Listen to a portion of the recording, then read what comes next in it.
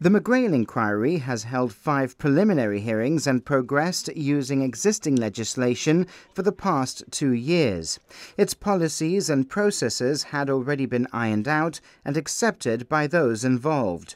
Transparency International UK asks what has the inquiry chairman, Sir Peter Openshaw, done wrong to require such a hasty change to the inquiry's rules and statutory footing? The corruption watchdog asks if it is a coincidence that earlier this month the inquiry confirmed it would review allegations of inducements given to those providing witness statements against Mr. McGrail. It says the bill was brought forward less than a week later, raising the prospect that there could be a relationship between these two facts. Of the timing, the Chief Minister said last week that two to three months ago he was advised to update the legislation by the government's own legal counsel in the McGrail inquiry, Sir Peter Caruana, and it had taken till earlier this month to get it ready.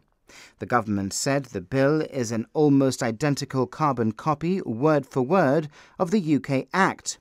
But Transparency International UK said this is not quite true.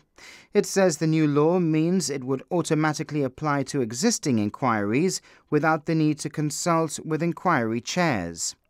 Earlier this week, the Chief Minister told GBC he would not use these powers to delay or terminate the inquiry. Yet Transparency International UK says the Gibraltar government has not included provisions in the bill that would make this a cast iron guarantee, and the Chief Minister has alluded to the likely need to restrict public access to information in order to, he says, further the public interest.